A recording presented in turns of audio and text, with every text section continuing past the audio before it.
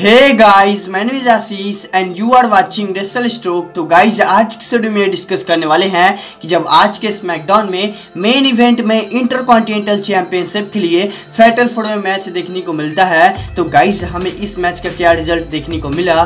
उससे पहले गाइस अगर आप हमारे चैनल पर पहली बार आए हैं तो ग्रैंड वेलकम सब्सक्राइब के नोटिफिकेशन बिल को भी ऑन कर दें। चलिए चलिए वीडियो को शुरू करते हैं। तो जैसा ही गाइज़ आपको मालूम होगा कि लास्ट वीक के स्मैकडाउन में ही ऑफिशियल तौर पे एडवर्टाइज हो जाता है कि इस वीक के स्मैकडाउन में हमें फैटल फोर में मैच देखने को मिलने वाला है।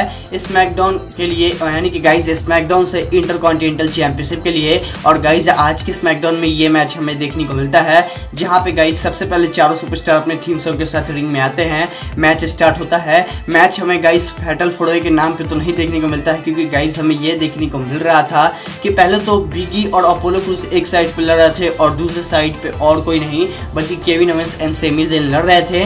और गाइज़ मैच इसी प्रकार से कुछ हमें देखने को मिलता है, जहाँ पे गाइज़ पूरे मैच में हमें ये देखने को मिल रहा था कि बिगी और अपोलो क्रूज एक साथ लड़ रहे थे और और कोई नहीं, बल्कि Sami Zayn and Kevin Owens एक साथ लड़ रहे थे। और गाइज़ ऐसा नहीं देखने को मिला कि चारों सुपरस्टार एक साथ कभी भी रिंग में लड़े, उस प्रकार से हमें कभी भी देखने को नहीं मिला। लेकिन फिर भी गाइज़ ये जो हमें मैच देखने को मिलता है, काफ़ी हार्ड हिटिंग रहता है, जहाँ पे कुछ भी बोलना मतलब मुश्किल था कि कौन इस मैच को जीत सकता है। एक मोमेंट पे तो मुझे ऐसा लग रहा था कि देखो भाई, अब बिगी जीत सकते हैं और वो हमारे न्यू इंटर कॉन्टिनेंटल चैंपियन बन सकते हैं। लेकिन गाइज़ बिगी का सपना और कोई नहीं, बल्कि गाइज़ और कोई नहीं, बल्कि एलिस्टर बैक तोड़ देते हैं और गाइज़ एलिस्टर ब्लैक अपना रिटर्न करते हैं। एलिस्टर ब्लैक एक ब्लैक मास्क लगा देते हैं बिगी को और गाइज़ इस मैच को और कोई नहीं, बल्कि गाइज़ अपोलो क्रूज जीत जाते हैं और वो रिटेन करते हैं अपना इंटर कॉन्टिनेंटल चैंपियनशिप को। और गाइज़ आज के स्मैकडाउन के मेन इवेंट में इस मैच का कुछ यही हमें रिज़ल्ट देखने को मिला।